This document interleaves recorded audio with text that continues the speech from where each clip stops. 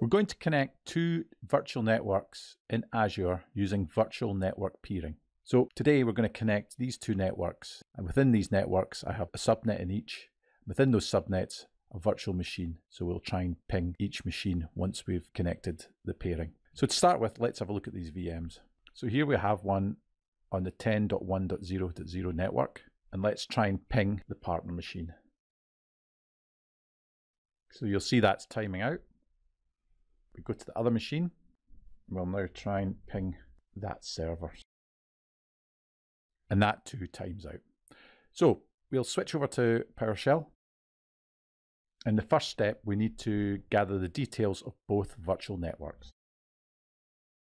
So after that, peering is actually created with one commandlet. Use add Azure RM virtual network peering. We have to give it a name, so we're going to call it link vnet1 to vnet2. We pass in the variable $vnet1 and the remote ID vnet2.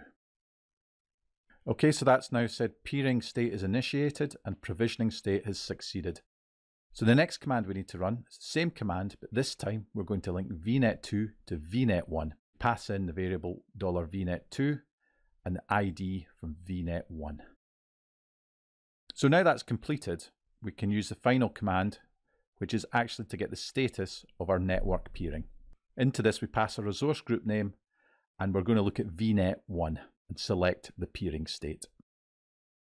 So it's coming back as connected, so we can switch over to our VMs now and we'll try and ping that other VM now.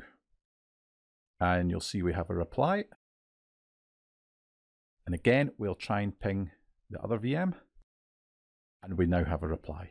Thank you for watching this video.